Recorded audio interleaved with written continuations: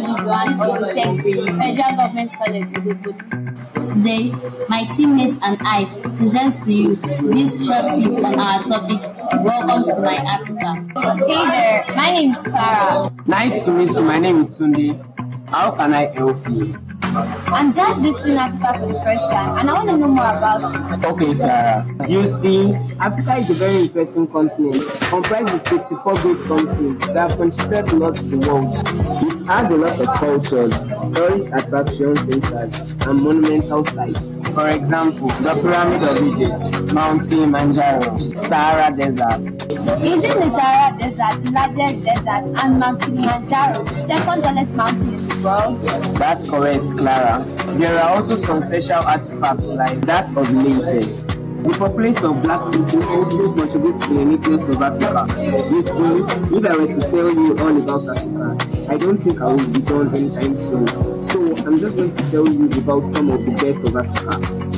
Okay, Tunde, let's get to it. Talking about African culture, for example, is comparable to none other. Nigerian culture in particular has a magnificent way of defining Nigerian people. From their foods like pounded yam and egusi assorted leaves, amala and ewedu with gbegiri, their dressing, their language, and their ways of waiting. Ghanaian culture, like that of Nigeria, also defines the people with some basic things. From their foods like ampesi to their dressings and their way of greeting. Wow, so interesting. Festivals like those in Nigeria can't be found anywhere else in the world except Africa. From some festivals like the New Yam Festival, even to Oshun Oshogbo Festival. Also, African arts and architecture reflects on diversity of African culture. Right from Egypt buildings made from nothing but paper, straw, and stones, to its museum filled with gold-blessed artifacts. Ooh, fancy.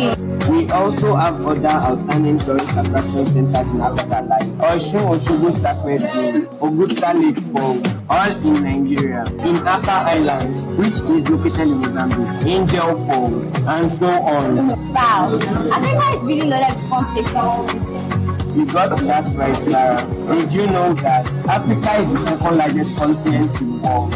Human life is born in Africa. Africa has the most mineral resources of any continent in the world. Even now, the longest river in the world is situated in Africa. Nice, that's interesting.